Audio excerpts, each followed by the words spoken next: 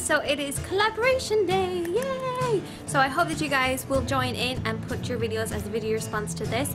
And this is my outfit of the day and I am going out shopping. So just keep watching. The first thing that I took was this plain top from Dunnes. And I like this because it's a little bit longer than the average top. I pair this with my blingy bling watch and this bow ring. It's so cute, isn't it? I love this ring so much. And I recently picked up these cool flare jeans from H&M which I love.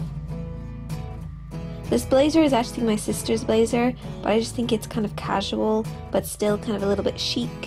And I like to roll up my sleeves on my blazers because I find that it works if you have like curves, it tends to make you look thinner for some reason. I think because it draws attention to the waist because, you know, your elbows are right at your waist. And it shows off your wrists too. To elongate the body and to draw the eye downwards, I added this scarf. And I'm not going to tie it in any crazy cool way or anything. I'm just going to leave it hang down because it elongates the body.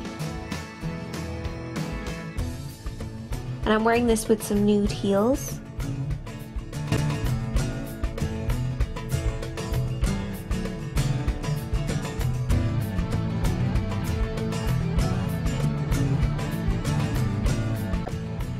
It got really, really windy, and my sister was like, The wind is your friend, work with it.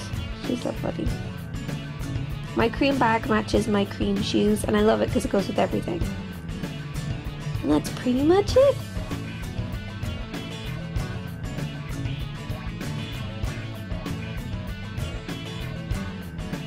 Now it's your turn to start posting your video responses.